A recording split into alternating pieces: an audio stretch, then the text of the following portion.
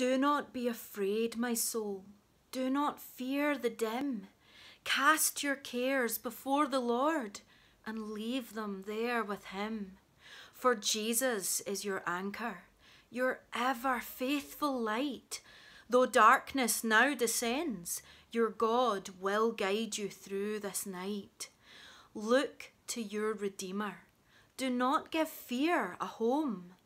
Turn your problems into prayers before his mighty throne.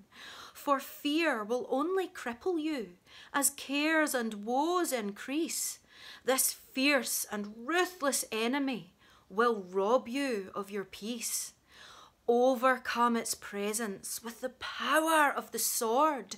Cast down imaginations with the holy word of God. Demolish every argument and every wicked thing, every lie that's set against the knowledge of your King. Bring all into captivity and under Jesus' power.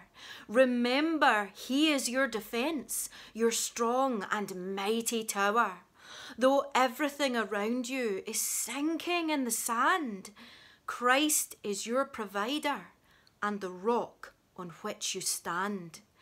Take your heart's anxieties before your sovereign king.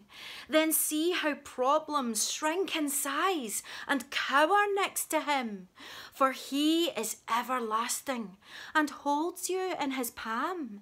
He knew how he would see you through before this world began.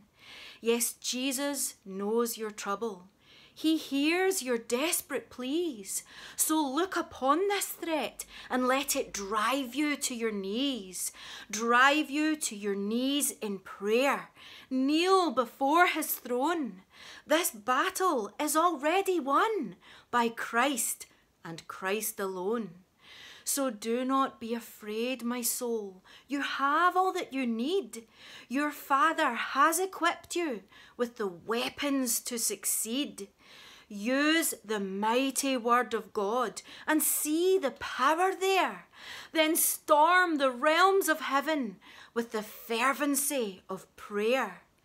Know that Christ is in control and God of all the nations. So give him praise and honour, for he hears your supplications.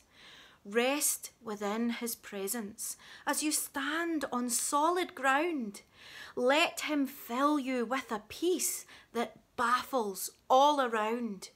Call upon his mighty name. Appeal without restraint. Your Father hears your prayers, for you are numbered with the saints. We are more than conquerors. His love will never fade. Through Christ we are victorious. So do not be afraid.